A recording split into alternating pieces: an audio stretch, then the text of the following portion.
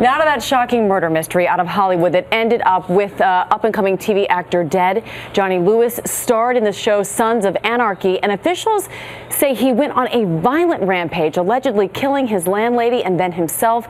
Was a designer drug behind all of it? Well, ABC's David Wright has the latest now from Los Angeles. David.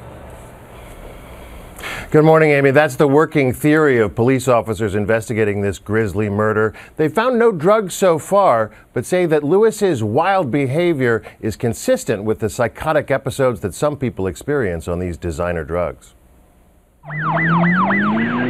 Up until now, 28 year old Johnny Lewis had been best known for his role as Half Sack on Sons of Anarchy. Now he'll always be known for this. Police are saying he's also the suspect in the grisly murder of his 81 year old landlady. It happened Wednesday morning at the Writers Villa, a sort of bed and breakfast for young people working in Hollywood. We got a series of 911 calls. Neighbors called, said there's someone screaming. I hear glass breaking. Our officers rushed up there. Uh, by the time we got there, Mr. Lewis was already dead. Police found Lewis's landlady, 81 year old Catherine Davis, beaten and strangled to death in a bedroom. Her cat virtually dismembered in a bathroom. Eyewitnesses told police Lewis appeared to show superhuman strength.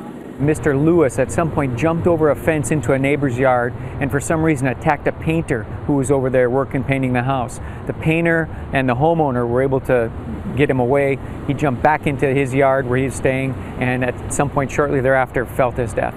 There are reports that some sort of drugs were involved. That's a possibility. We're not sure about that. Police say they have not located any drugs and won't know for sure until the toxicology report comes back from the autopsy but they suspect.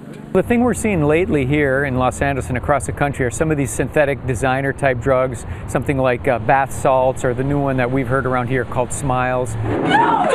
Lewis's character on Sons of Anarchy also died a violent death. Colleagues say he was troubled. The creator of his show even tweeting, I wish I could say I was shocked, but I was not. We believe that Mr. Uh, Lewis was responsible for this.